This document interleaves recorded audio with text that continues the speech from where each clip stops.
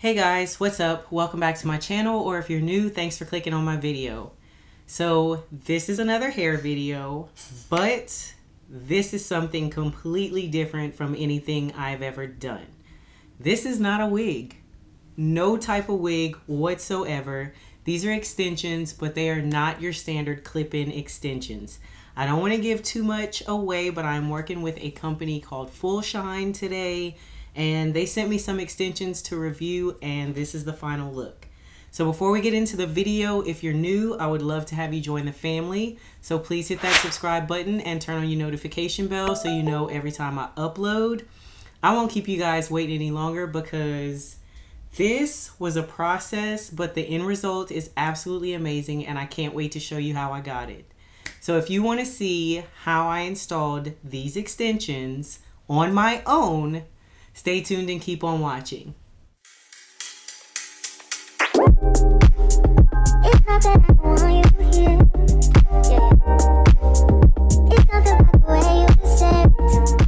Alright, I am not gonna lie, I have been putting off doing this video for a little while because honestly, I'm a little nervous because I've never used anything like this before. Today, I'm going to be I'm going to be trying out a brand called Full Shine, and they do hair extensions. These are 100% human hair, but the extensions are tape in.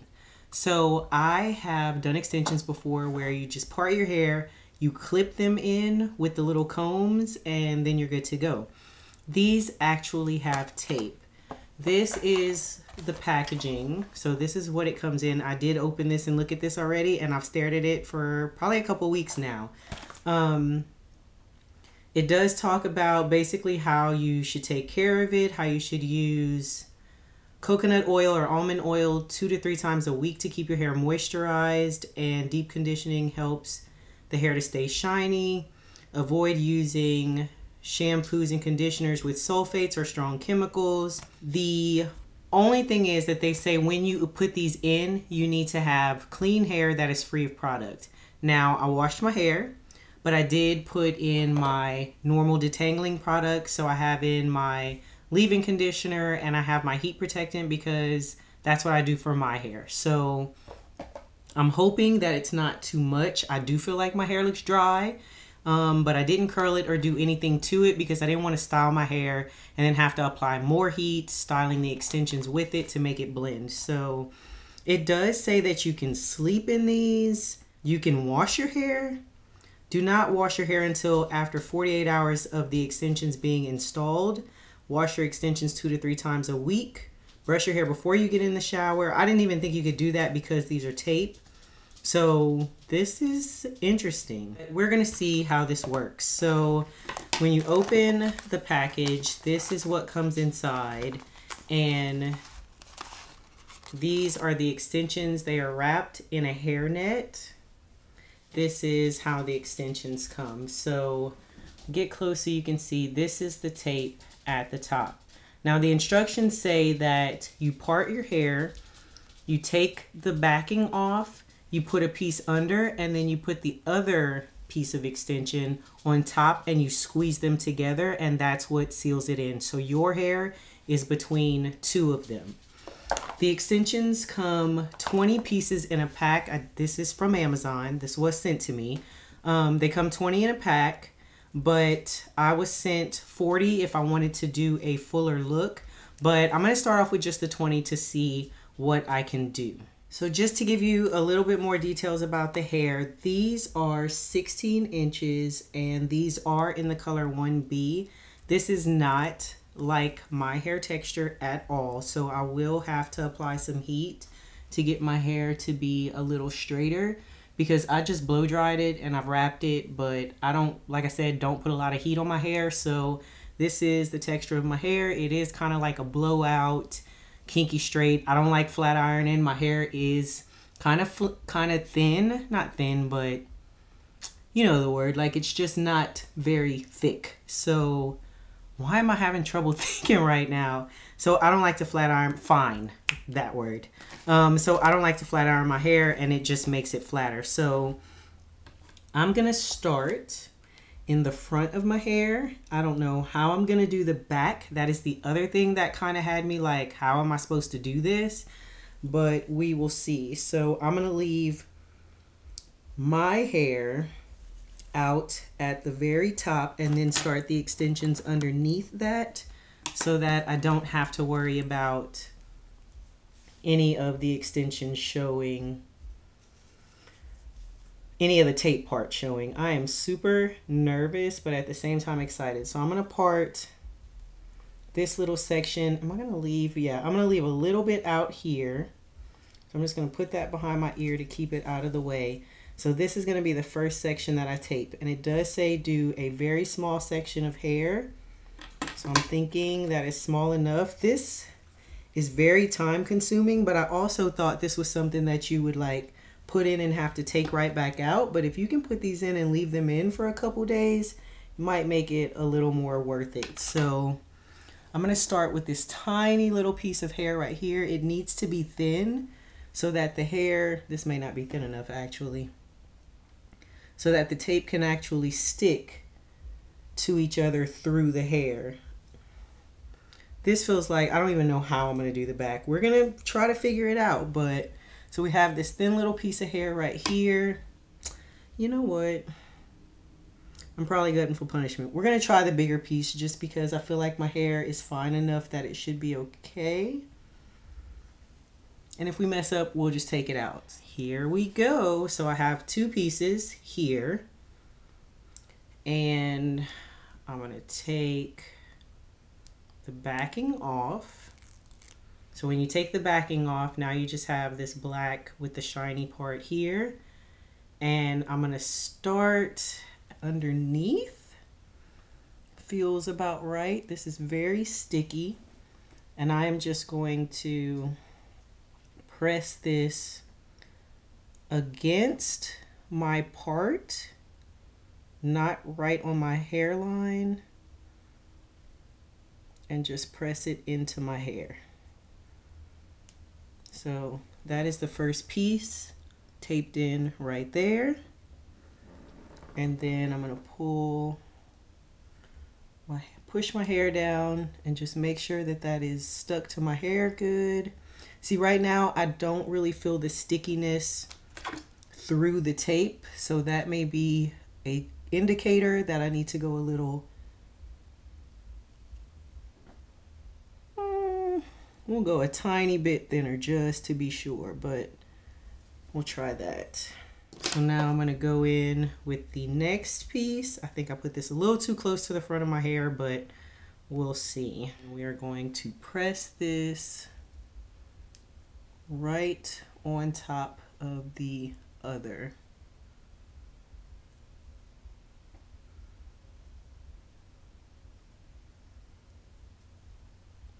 And squeeze them together. Now this back piece, I do feel like it slid down a little bit. There's definitely going to be a learning curve with these, but so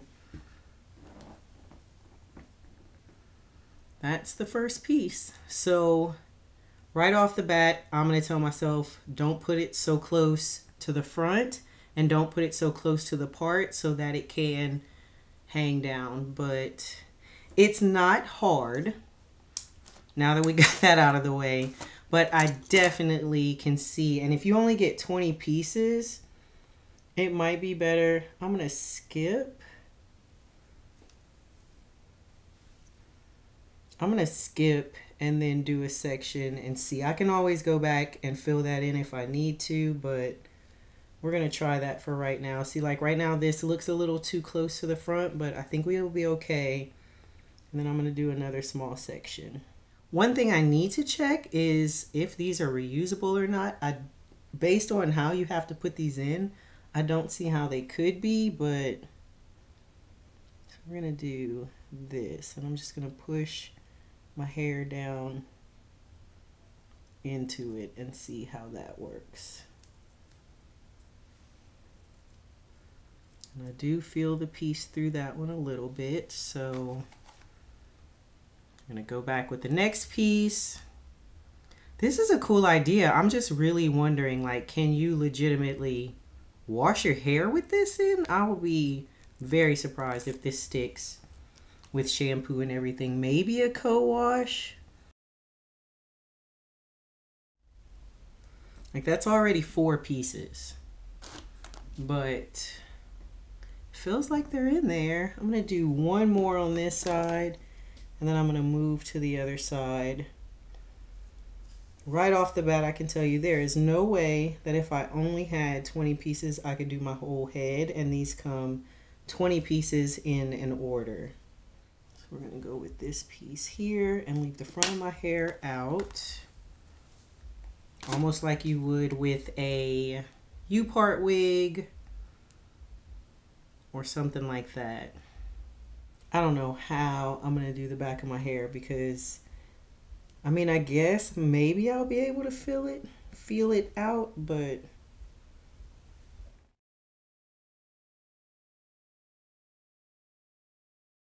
So I'm just to do this last one on this side. I can I feel like this video would be days long, not really, but if I try to show you guys every single part, but I will just kind of feel like that's sliding.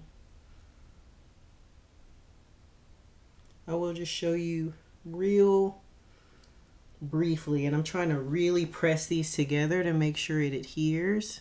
Yeah, see, so that might not be the best way to do it, but we're gonna go with it. So if I put it underneath, I need to put it a little bit lower. So as you can see, the front's covered. You can't see the extensions and I don't know, close up, I feel like you can't tell too bad that it's not the exact same texture, but this is kind of cool. It is time consuming, but honestly, if this lasts for a long time, this might, this might be a little nice. See, yeah, this one's a little too far in the front, but it also is not, I don't think that's to move, but I can just cover it with my hair, I hope. we'll figure all that out in a second. But I'm to work on the rest of my hair and then I will show you guys the final look. I'm trying this time a different way and see if I put it on the top first, if that'll make it better. Because the top, I can see what I'm doing. It gives me a better guide maybe, or not. We will see. Yeah, that definitely works better. Now, the only thing is putting it this close to my scalp. If I wanted to, well, might still be all right to be able to put it in a ponytail or something. So, learning curve, that one is definitely in there a lot better than the others. So, doing good.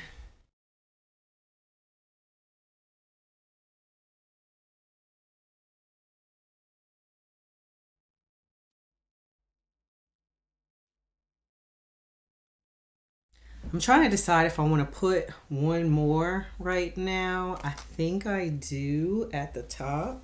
I got 16 inches because I wasn't sure and it looks like it's layered because of how I'm stacking them, but I think it's definitely a cool idea. I'm just like, wow. Never would have thought of something like this before. So one thing I can say right off the bat, I had the wrong idea about like, oh, well, I need to put a lot more hair than what the instructions initially said but the hair is not going to adhere the tape's not going to adhere to each other on opposite sides if you have too much hair. I was thinking i would need to put more strips than what i'm doing right now so that's why i was using more hair but that is not right so don't do like me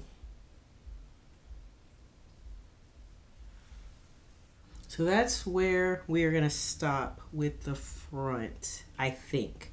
I'll see how many I have left. This one is not in the best place, but we are just going to make it work. But I mean, right off the bat, I have instant fullness, instant length, and the blend is not that bad. Not as bad as I thought it was going to be.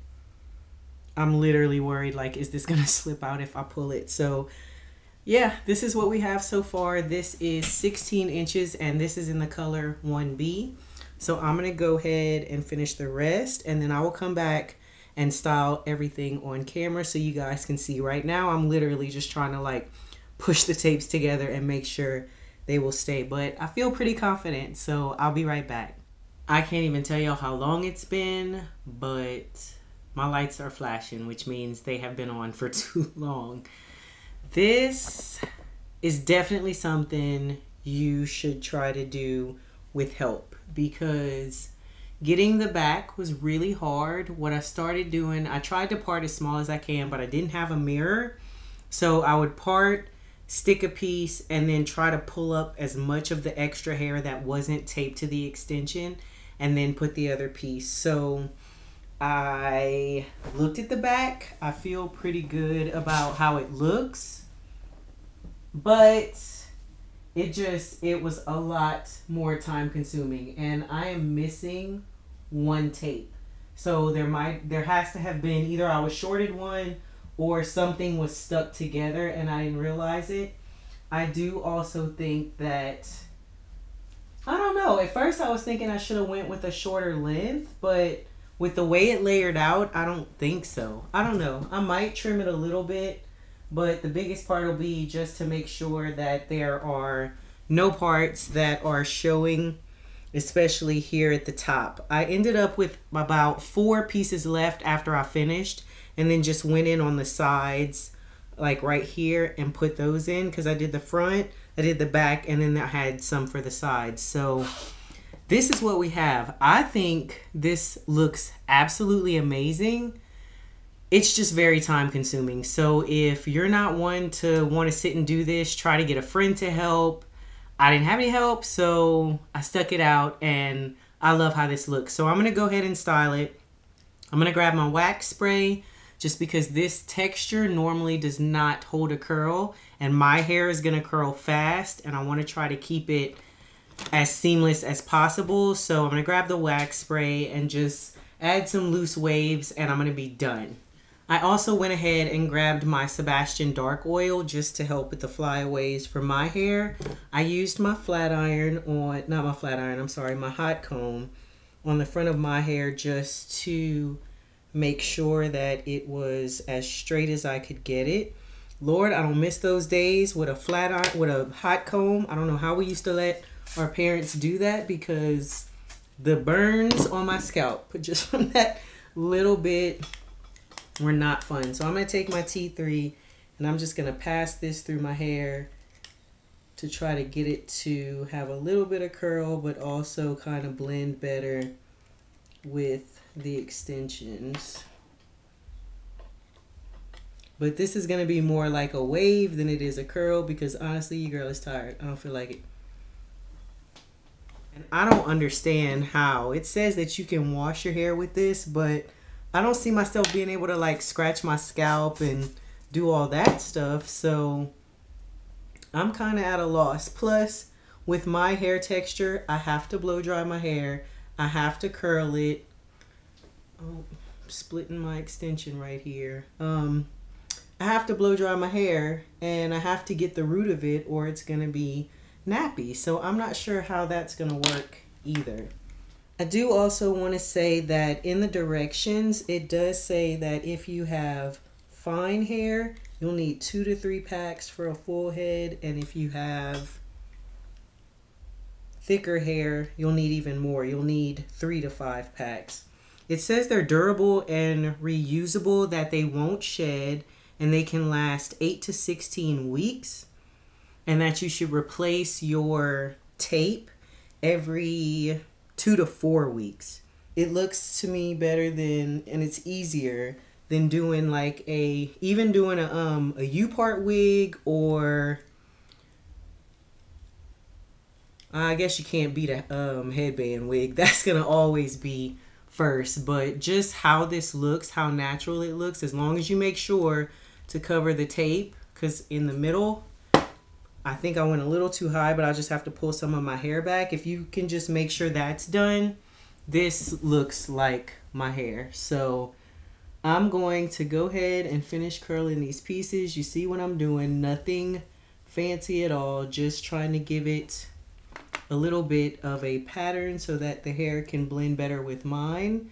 And then that is going to be it. So I ain't going to drag y'all through this part. I will show you the end result when I'm done. But this is the kind of stuff that I wish my sister was here because she would probably love to do something like this on my hair or I would love doing it plain in hers. So I'm going to finish this real quick and then I will show you guys the end. But this is about it.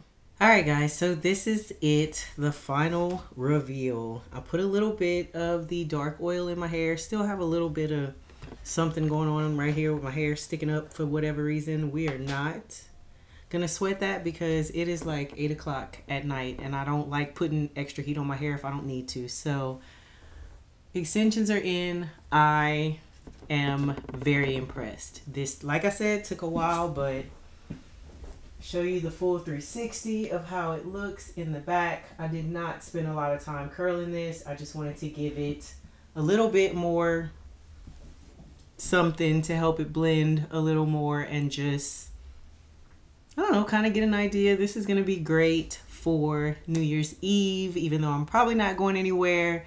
I'm still going to dress up and have fun with it. So thank you so much Full Shine Hair for sending me these extensions. I had no idea they existed. I'm curious to see how this is going to look after I wash it because that's probably how I'm going to have to take them out because they are stuck. I brushed through, found a couple snags, and felt my hair pulling. So this isn't going to come out easy, which if you don't want to do wigs, and you want something a little more permanent, a little more versatile than just a clip in, these are really flat. I know for sure I could put my hair in a ponytail, which is why I left around the edges out. So keep that in mind when you're installing them. Get help if you can so you don't stress like I did. I hope you guys enjoyed this video. If you have not tried these before and you want to check the company out, it will be linked in my description box. So please check them out on Amazon this is awesome and I hope you guys enjoyed the video. If you are new and you enjoyed the content, please subscribe, give this video a thumbs up, and I will see you guys soon. Bye.